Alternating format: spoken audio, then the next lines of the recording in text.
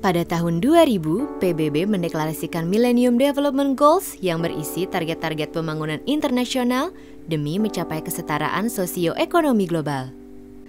Dari semua target tersebut, beberapa target berhubungan dengan masalah kesehatan, seperti menurunkan tingkat kematian anak, meningkatkan kesehatan ibu anak, dan memerangi penyakit-penyakit menular seperti HIV/AIDS dan malaria.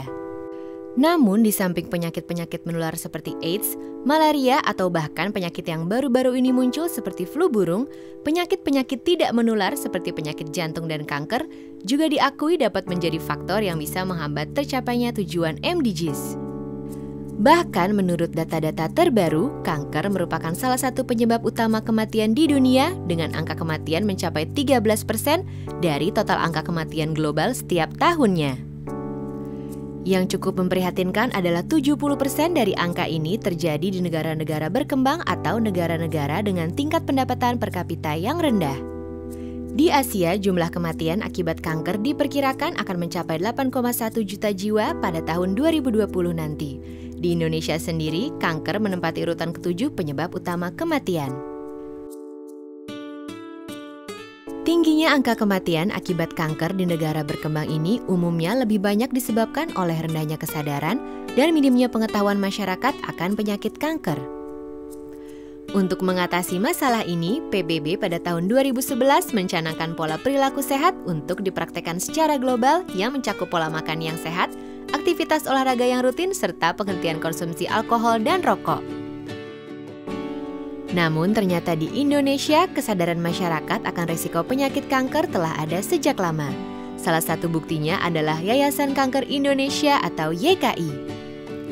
YKI telah berdiri sejak tahun 1977 dan sejak itu sampai sekarang telah dengan aktif berusaha meningkatkan kesadaran dan pengetahuan masyarakat akan penyakit kanker, mulai dari resiko, penyebab serta cara-cara perawatan dan penyembuhannya.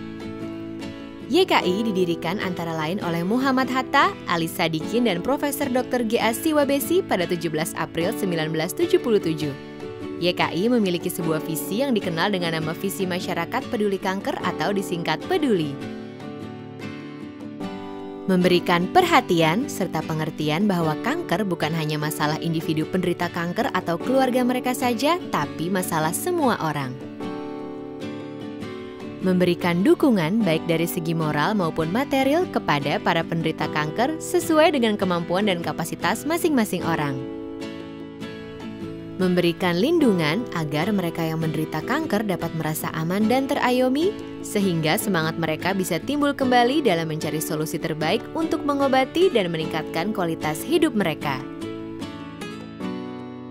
YKI juga memiliki misi untuk meningkatkan kepedulian masyarakat mengenai penanggulangan kanker melalui metode promotif, preventif, dan suportif. Fakta menunjukkan bahwa sebenarnya sepertiga sampai dengan setengah dari semua jenis kanker dapat disembuhkan apabila dideteksi dalam stadium dini. Karena itu, YKI mendirikan klinik deteksi dini kanker yang berlokasi di Lebak Bulus untuk menyediakan layanan bagi masyarakat yang ingin memeriksa kemungkinan terkena penyakit kanker. Fakta lain mengungkapkan bahwa penyakit kanker merupakan penyakit yang berdampak sangat luas terhadap kondisi fisik dan psikologis, bukan saja para penderitanya, namun juga orang-orang di sekitar mereka. Umumnya, penyakit kanker membutuhkan biaya perawatan yang cukup banyak memiliki tingkat kematian yang tinggi dan dapat menjadi beban psikologis dalam jangka waktu yang panjang bagi penderitanya.